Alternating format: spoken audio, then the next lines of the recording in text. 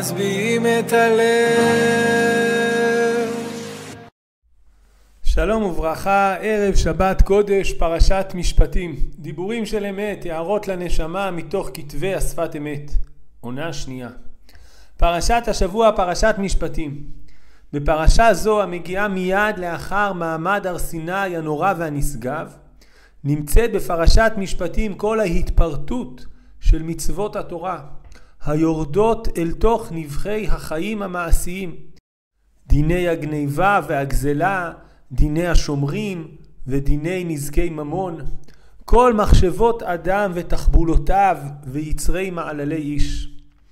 בתוך אותם הפסוקים בפרשת השבוע מופיע גם הפסוק הבא: ואנשי קודש תהיון לי, ובשר בשדה טריפה לא תאכלו, לכלב תשליכון אותו. ונשאלת השאלה, מדוע לפני איסור אכילת בשר טריפה, פותחת התורה ואומרת, ואנשי קודש תהיון לי. נקודה זו והסברת העניין של אנשי קודש נמצאת ביסוד דברי השפת אמת בתורה לשנת תרל"ב. נראה את הדברים. אומר השפת אמת כך, בשם הרב הקדוש ז"ל מקוצק, כן, רבי מנחם מנדל מקוצק, רבו של חידושי ערים, על פסוק ואנשי קודש תהיון לי, להיות שמירת הקדושה במעשי אנוש ותחבולותיו. דהיינו הרבי מקוצק מבאר שהדגש הוא על האנשי, לא על הקודש. אנשים דייקה, בני אדם, אנושיים, ושבכל זאת, למרות שהם אנשים, למרות שהם מעשי אנוש ותחבולותיו, בכל זאת הם יהיו אנשי קודש. הוא מבאר השפת אמת את דבריו פירוש שאין מחסור להשם יתברך מלאכי עליון, שרפים וחיות קודש. רק שמתאווה לקדושת אנשים. כלומר השפת אמת מסביר את דברי הרבי מקוצק, יש לקדוש ברוך הוא בשמיים המון מלאכים, המון אנשים מעל הגשמיות, מעל החומריות, שעושים את רצונו, בלי יצר הרע, בלי נפילות, בלי חטאים. אבל כל חפצו ורצונו של השם יתברך.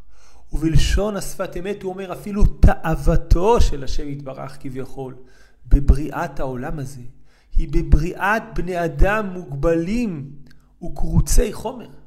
הוא לא מתאווה לעוד מלאכים, אלא לבני אדם דווקא, שעם כל מגבלות החומר שלהם, ולמרות זאת ובכל זאת, הם ישאפו להיות קדושים. הם ישאפו למשהו שבעצם הם אף פעם לא ישיגו לגמרי, ובכל זאת הם לעולם לא יוותרו על שאיפת הקודש שלהם. יש בדברי השפת אמת הללו נקודה עמוקה מאוד. אם אדם ישגה לחשוב, או שהוא כבר מלאך, או שגם אם הוא לא מלאך, אבל הוא יכול להיות מלאך, או אפילו רוצה להיות מלאך, ולשם כך עליו לפרוש מכל ענייני החומר, לפרוש מחברת בני אדם, לפרוש מכל ענייני העולם הזה ככל יכולתו. אז לא רק שהוא לא יצליח בזה, כי הוא אדם, לא רק שהוא יחווה תסכולים לרוב, כי זה בעצם דבר שנועד לכישלון מראש, אלא שהוא לא מממש בזה את רצון השם יתברך. הוא חושב שהוא משמח את הקדוש ברוך הוא בזה שהוא פורש, הוא חושב שהוא משמח את הקדוש ברוך הוא בזה שהוא מתבדל, הוא חושב שהוא משמח את הקדוש ברוך הוא בזה שהוא מנסה להיות מלאך, בדיוק להפך. בדיוק להפך, הקדוש ברוך הוא רוצה אנשי קודש. עם התאוות שלהם, עם היצרים שלהם, עם החומריות שלהם, עם כל זה, הם שואפים כל הזמן לקודש. הם שואפים כל הזמן להתעלות למעלה. הנקודה הזאת היא נקודה מאוד מאוד מורכבת. כי אם באמת אנחנו אנשים, ואם אנחנו באמת קרוצי חומר ומלאים במגבלות, אז איך הקודש יכול לשכון בתוכנו? איך אנחנו יכולים להיות משכן לקודש? ממשיך השפת אמת ואומר, ולכן המשיך ניצוצי קדושה גם בעולם הזה במידה וצמצום. כלומר, השפת אמת מבאר, לפי דבריו, שזו הסיבה שהקדוש ברוך הוא יצר מציאות של קדושה בעולם הזה, בתוך העולם השפל והירוד, עבור אותם בני אדם שיוכלו ללקוט את אותם ניצוצי קדושה כבני אדם ולהתקדש בעולם הזה. אבל יש בדברי השפת אמת כאן נקודה נוספת. הקדושה בעולם הזה, אומר השפת אמת ומדגיש, היא במידה ובצמצום. רצונו לומר, בעולם הזה, לא רק בבני האדם, אלא בעולם כולו, ישנן מגבלות, מגבלות של סופיות, מגבלות של חומריות, מגבלות שברואות מעצם בריאת העולם. הן מגבלות אצלנו כבני אדם ומגבלות בעולם כולו. אנחנו נתקלים בהם הרבה פעמים כשאנחנו נתקלים במחלות, אנחנו נתקלים לא עלינו במוות, אנחנו נתקלים ברעב, בכל מיני מגבלות שהן בעצם מגבלות של העולם הזה. הקדושה במהותה היא רוחניות ובעיקר אינסופיות. לכן קדושה לא יכולה לשרות בעולם הזה באופן מוחלט וגורף. היא יכולה לשרות בעולם הזה רק במידה ובצמצום, בתוך גבולות, בתוך הגדרות, בתוך גבולות ההלכה יכולה להיות קדושה גם בעולם הזה ולא מעבר לכך. הרצון שלעיתים קיים בנו לרצות לפרוץ את הגבולות, לרצות שתהיה יותר קדושה, קדושה בלי מידה, קדושה בלי צמצום, היא בסופו של דבר גורמת רק לאסונות ולצער, כמו שהיה אצל נדב ואביהו, כמו שהיה להבדיל אצל קורח, במקום לגרום לתוספת קדושה, זה גורם רק לאסונות ולצער. צריך להפנים את הנקודה הזאת, שקדושה בעולם הזה היא אפשרית, אבל היא אפשרית רק במידה ובצמצום. לעתים אנחנו מרגישים שזה חבל, שהיה אפשר יותר. למה דווקא ככה? למה אי אפשר להתפלל שחרית בשלוש אחר הצהריים? למה אי אפשר לעשות שבת גם ביום שלישי? אבל התפיסה הזאת לא קולטת שהקדושה בעולם הזה היא רק במידה ובצמצום. והצמצום כאן הוא סוד השפע. כעת עובר השפת אמת לבאר לפי דבריו את המשך הפסוק. ובשר בשדה טריפה לא תאכלו. איך הסוף הזה של הפסוק קשור לתחילתו, לאנשי קודש, דיון לי.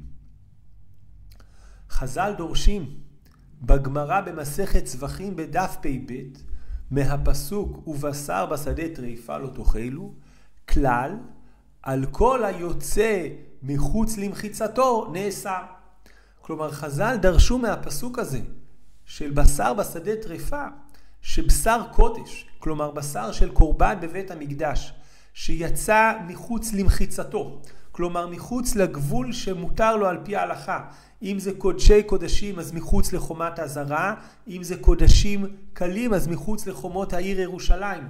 על כל פנים חז"ל לומדים מהפסוק הזה שבשר קודש שיצא חוץ למחיצתו נאסר. הוא מפסיק כביכול להיות בשר קודש. לכאורה הדרשה הזו של חז"ל היא מאוד מאוד תמוהה. שהרי בפשטות הפסוק בכלל מדבר על בשר טריפה, הוא בכלל לא עוסק בבשר קודש, בשר בשדה טריפה לא תאכלו. מסביר השפת אמת, פירוש כנ"ל, שיש בכל דבר התפשטות קדושה במידה, וצריכים לשמור הגשמיות שלא לצאת מגבול הקדושה כנ"ל. הבשר הזה הוא באמת היה בשר קודש. אבל בגלל שהוא הלך לשדה, בגלל שהוא פרץ את הגבול, בגלל שהוא רצה להיות לא מוגבל, הוא רצה להיות לא תלוי, הוא רצה שלא יגידו לו איך יאכלו אותו וכמה יאכלו אותו ואיך בא לי, אז הוא הפך מבשר קודש לבשר טריפה. ובשר בשדה טריפה לא תאכלו. כיוון שהוא יצא מהגבול אל השדה, הוא הפך מבשר קודש להיות בשר טריפה. שוב אותו רעיון. בגלל שאנחנו אנשי קודש ולא מלאכי קודש, שאנחנו לפעמים מדמיינים את זה. לכן הקדושה שלנו כאנשי קודש נמצאת בתוך מידה, נמצאת בתוך מסגרת, נמצאת בתוך גבול. הקדושה בעולם הזה היא איננה פורצת גבולות, אלא אדרבה, היא נמצאת דווקא בתוך הגבולות והגדרים. ולכן למדו חז"ל מאותו פסוק, שאם אנחנו אכן רוצים להיות אנשי קודש, אז בשר הקודש צריך לאכל דווקא בתוך המחיצות, ולא חלילה מחוץ להם. כעת ממשיך השפת אמת ואומר עוד רעיון נוסף. גם פירוש תהיון לי הוא הבטחה שיהיו בני ישראל בסוף קודש להשם.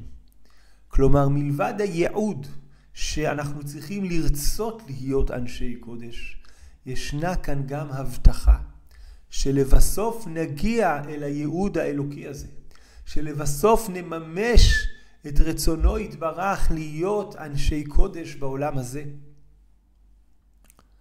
לכאורה, הבטחה כזו, שבסוף בני ישראל יהיו קודש, יכולה ליצור אצל האדם איזושהי שאננות. כביכול היעד הסופי כבר מונח בכיסו, כבר הוא יודע שהוא יגיע אל הטוב השלם. אומר השפת אמת, בדיוק להפך. בדיוק להפך. לכן, דווקא בגלל שיש הבטחה אלוקית, לכן צריכים לשמור עצמנו עתה, להיות מוכנים להינתן בראשו של מלך, כדאיתא במדרש. ישנו מדרש נפלא בפרשת ויקרא. אומר המדרש רבה שם כך, אמר רבי יהודה בר סימון, משל לאחד שהיה יושב ועושה עטרה על המלך. עבר אחד עליו, אמר לו, מה אתה עושה? אמר לו, אני עושה עטרה על המלך. אמר לו, כל שאתה יכול לקבוע בה, באותה עטרה, אבנים טובות ומרגליות קבע. זמרגידין קבע, מרגליות קבע. למה? שעתיד להינתן בראשו של מלך. כך אמר לו הקדוש ברוך הוא למשה, כל מה שאתה יכול לשבח את ישראל, שבח. לגדלן ולפארן פאר. למה? שאני עתיד להתפאר בהם. שנאמר, ויאמר לי עבדי עתה ישראל אשר בך אתפאר. העובדה שאנחנו יודעים שבסוף נגיע אל היעד, בסוף אנחנו העטרה למלך, אותם אנשי קודש עליהם דיברנו בהתחלה, איננה גורמת לנו לרפיון או לאיזושהי שאננות חלילה, אלא אדרבה, אותה ידיעה מחזקת בנו את חובת האחריות. הרי בסופו של דבר נגיע לכתר המלך. בסופו של דבר אנחנו אלו שמראים את מלכות השם בעולם. לכן עלינו יותר להתאמץ ולשמור על היותנו אנשי קודש. כשאנחנו מבינים שבסוף היעד שלנו הוא היעד הגדול יותר, הוא היעד הנשגב יותר, יותר משל המלאכים והשרפים, אנחנו אלו שהולכים להינתן בקיטרו של מלך. יהי רצון שנזכה לקיים את המשפטים מתוך הבנה שהם לא מצמצמים אותנו, שהם לא חונקים אותנו, אלא אדרבה ואדרבה.